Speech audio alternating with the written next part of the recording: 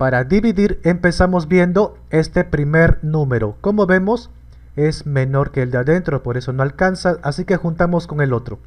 Ahora sí, 19 ya no es menor. Así que 6 multiplicado con qué número me da 19 o cercano, pero sin pasarme. A ver, 6 por 4, 24 se pasa, así que 6 por 3, 18. Ahora sí.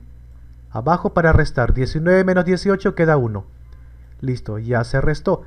Si fuera una división simple, ahí terminaría porque ya no hay número que baje, pero vamos a continuar porque vamos allá la respuesta hasta los decimales.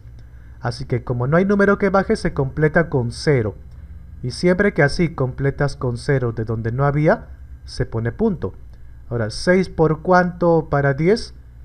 6 eh, por 2 se pasa, así que 6 por 1, 6. Restamos 10 menos 6, queda 4. Ahora, como no hay número que baje, de nuevo completamos con 0, solo que acá ya no se pone otra vez punto porque ya estaba ahí. Seguimos nomás, a ver, 6 por cuánto para 40? Por 6, ¿verdad? 6 por 6, 36. Restamos 40 menos 36 y queda 4. Y de nuevo completas con 0. Y de nuevo, 6 por cuánto para 40? Por 6 queda 36. Lo restas y sale 4 y de nuevo completas con 0 y de nuevo por 6 para que dé 36 lo restas, completas con 0 o sea vemos que esto se va a repetir infinitamente. Entonces acá también el 6 se repite infinitamente por eso puntos suspensivos.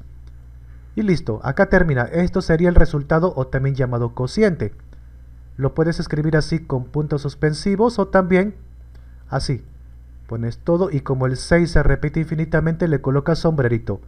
Esta es otra forma de escribir la respuesta.